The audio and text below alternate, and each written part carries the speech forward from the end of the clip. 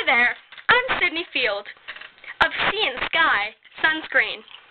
Are you tired of itching and peeling? Well, we have a new sunscreen that doesn't do that anymore. Sea and Sky all day, 30 SPF. That means that the sun will not come in your skin for 30 minutes. It's foaming.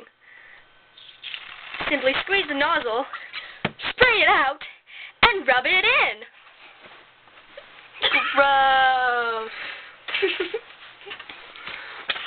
Mmm, smells like lilac and lilies. Maybe you should stop in your drugstore and buy the sunscreen today. Safe for kids and adults. Do not blame us if you die.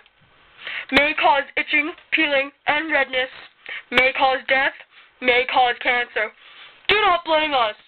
Refunds acceptable. No refunds or exchanges. Stop by and get it today.